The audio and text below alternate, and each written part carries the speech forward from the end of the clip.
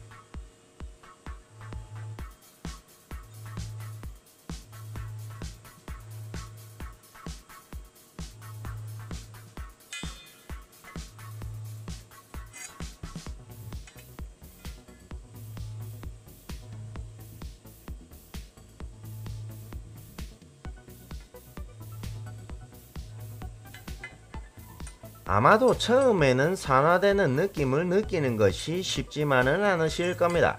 하지만 이 영상을 반복해서 보시고 여러 번 시도해 보신다면 용융풀을 잃는 느낌을 아는데 도움이 되실 겁니다.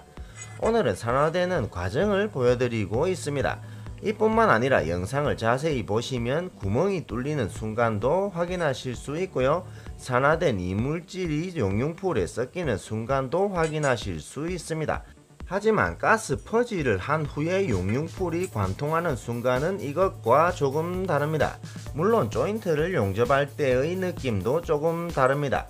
이런 것들도 차후에 비교해서 보여드리도록 하겠습니다. 자 그럼 이번에는 얇은 스테인리스 박판에서 용접을 해보겠습니다. 철판의 두께는 2mm입니다. 얇은 박판은 열 전도가 빠를 겁니다. 용융풀이 반응하는 시간도 빠르기 때문에 낮은 전류로 용접을 해보겠습니다. 전류는 100A입니다. 철판이 얇기 때문에 전류를 낮추더라도 뒤편은 빠르게 산화될 겁니다. 그러므로 용융풀을 더 집중해서 보시기 바랍니다.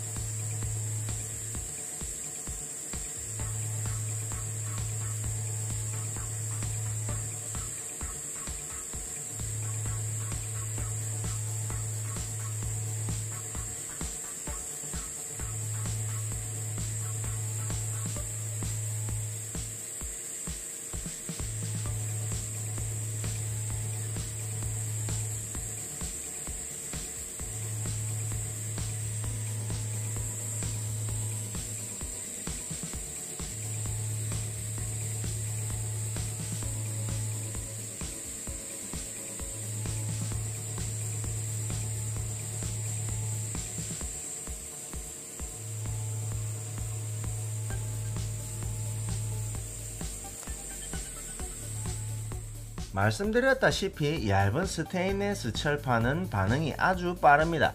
1에서 2초 정도의 뒤편에서 산화된 꽃이 피기 시작했습니다.